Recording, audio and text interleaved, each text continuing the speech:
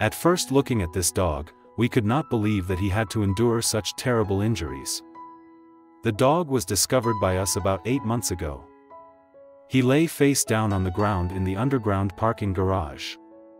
It was said that it had just experienced a collision with a car and could not stand.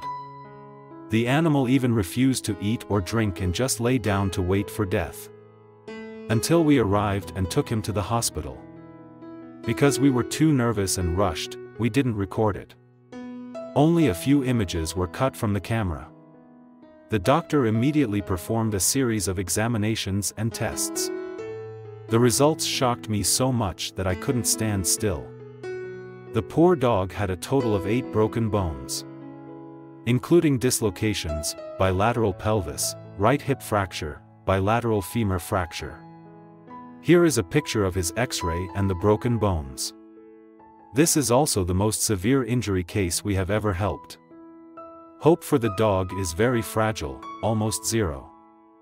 The doctor described it as very complicated and expensive. However, the rescue team agreed to use everything to cure him. We signed the papers and told the doctors to help in any way.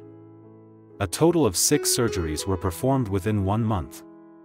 Each broken area is stitched together perfectly. I have never worried so much.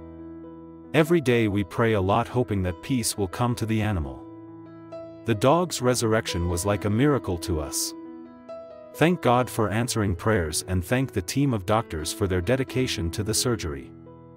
Currently, seven months have passed since the last surgery. The dog has completely recovered and can move normally.